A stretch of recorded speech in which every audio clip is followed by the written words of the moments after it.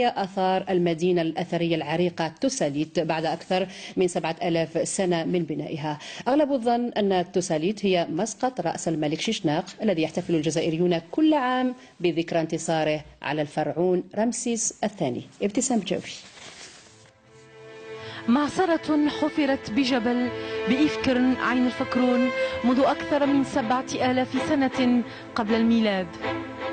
وهي أصغر جزء من مدينة أوساليت الممتدة على أكثر من 100 هكتار. المدينة القلعة كانت محاطة بسور مطوق لم يبقى منه إلا بعض الحجر. والحفريات الوحيدة التي تمت بها قام بها أبناء المنطقة الفضوليين والولوعين بتاريخ الجزائر الضارب في أعماق التاريخ. آه، لوساليت أو لوساليفيوم أو لوساليفيا آه، معناها هضبة الملوك أو آه، بالأمازيغية تنبيط إقليل هذه المدينة كانت سباقة في الحضارة وهي عريقة جدا في التاريخ.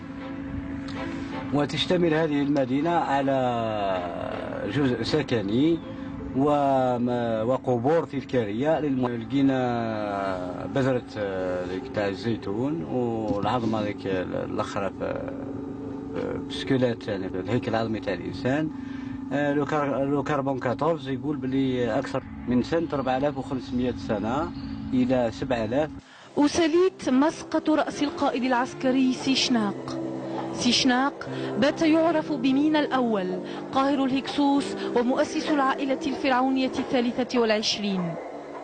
أبناء سليت بنوا له ولمن عاصره من المحاربين الراحلين إلى مصر أضرحة رمزية عددها بالموقع 280 إحنا هنا في الموقع الأم آه، أو الموقع الأصلي لأجداد سيشناق آه، واللي راحوا معاه.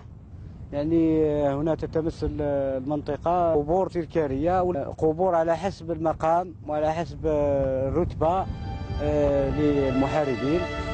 المدينة الأثرية باتت تهددها المحاجر. رغم ذلك فهي تحتفل وأبناء الجزائر بذكرى انتصار الملك الأمازيغي.